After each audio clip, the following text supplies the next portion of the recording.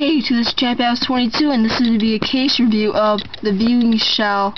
Not 100% sure who made it, but I'm actually using it right now, completely, and this is what it is.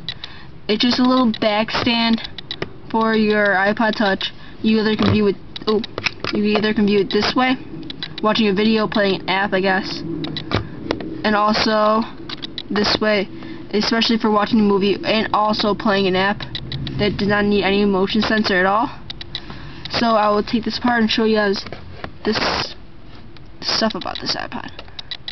The way I take it off is by the top. It's usually easier, but let me just try. See, all you do is pop it off. I don't know if you guys uh, watched my entire video last time, but I'm sorry for about the autofocus noise.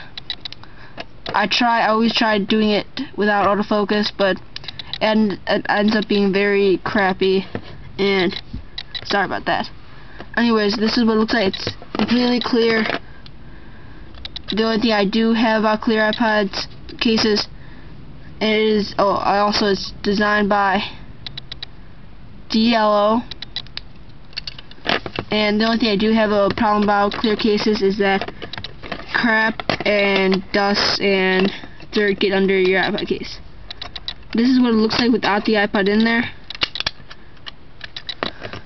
It goes around your iPod, the snap-on case. Has holes for all your iPod buttons. It does not cover the home button. That's one thing I do not like when it covers the home button. One thing I do have a problem with is, see that little hole? That's where stuff can come in, like dirt, when when uh, you used to put it on the table or something, but when you close it up, that's where the little spring goes.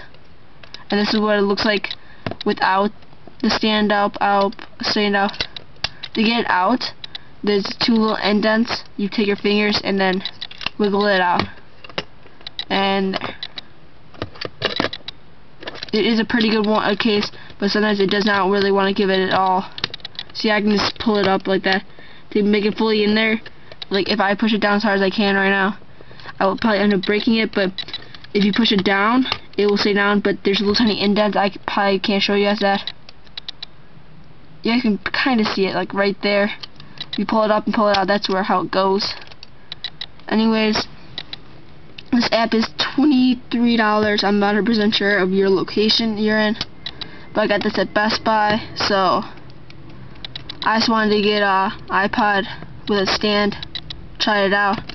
It's, I I kind of like it, but that some things I don't like about it. I the only thing is that it does come apart very easily. Today I dropped it from about not even three feet. It cracked into two, two original pieces like that on the ground and just left my iPod like just laying there. Was very worried about my iPod cracking. That's one thing about it. And also again with the hole for no reason and let me see if I can show you guys this time. I tried making another video of this. No, it's not there, of course. Oh, yeah, it's there. You guys see the Apple sign right there? That's some dust, or some...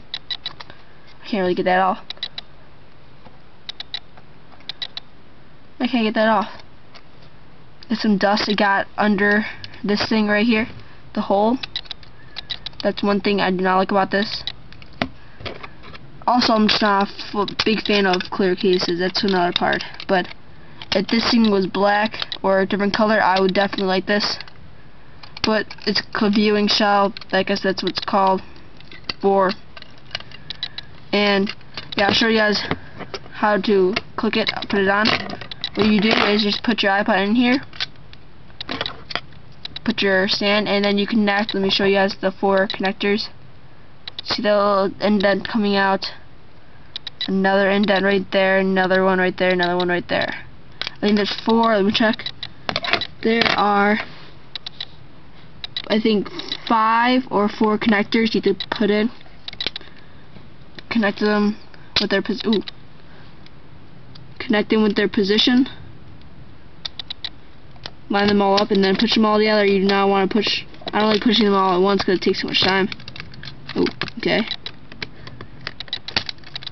Once you get all the snaps, you're good. Let me see if I got them. One thing to tell that they're not all snap is when the case is not leveled up. And I think I got all of them. This is what it looks like. It does stand up pretty good. See, it says oh, okay sometimes. Push them down like this, it is pretty good. Pushing it, it will fall. Especially falling this way. Pushing it. Oh, see, they fell. Well, this is, I think you guys should probably go out to get this case. I like it a lot. If you are a big fan of viewing and you want to stand for your iPod, instead of buying one of those $5 ones, you just get it with the case. Because there aren't that many cases worth $18. This is like easy, free stand. Very good case, very good quality. It does have protection on top. You see that this thing goes over it. While I do this, I cannot feel the button.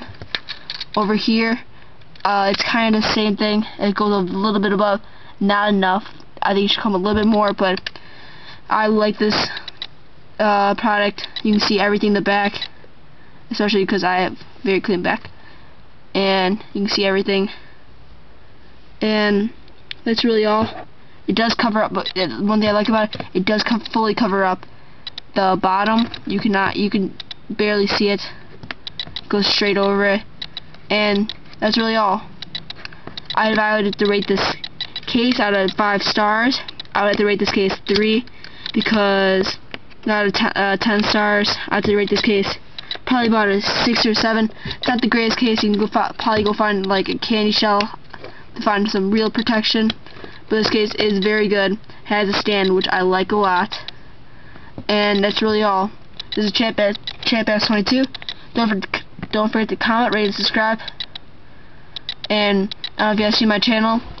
Uh, if I get, I think, 50 or 25 uh, subscribers, I will have a giveaway. So, tell all your friends. And that's really all. This is Champ 22 See all you in my next video.